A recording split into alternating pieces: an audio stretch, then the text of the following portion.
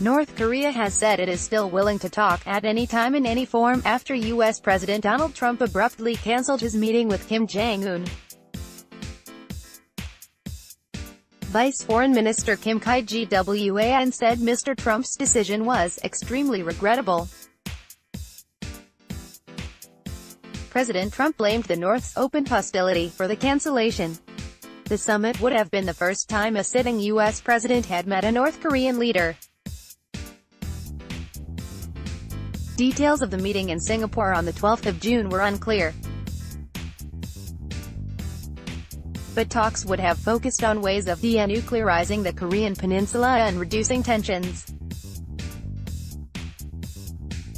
Just hours before Mr. Trump's announcement, North Korea said it carried out its promise to dismantle tunnels at its only nuclear test site.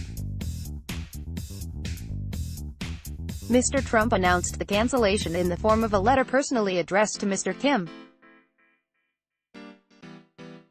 A senior administration official in the U.S. later gave further details, saying North Korea had shown a profound lack of good faith.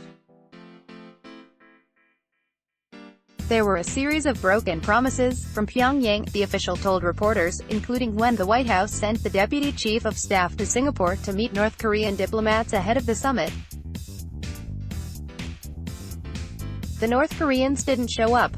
They simply stood us up.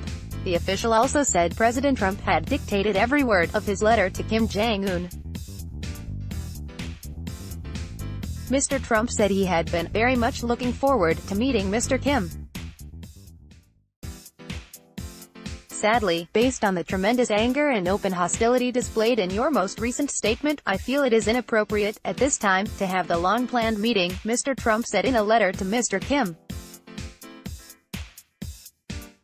You talk about your nuclear capabilities, but ours are so massive and powerful that I pray to God they will never have to be used, he added.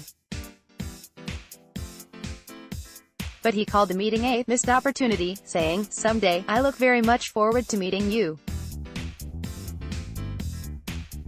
In a later statement at the White House, Mr. Trump said the step was a tremendous setback for North Korea and the world, adding the U.S. military was ready if necessary to respond to any reckless act from North Korea.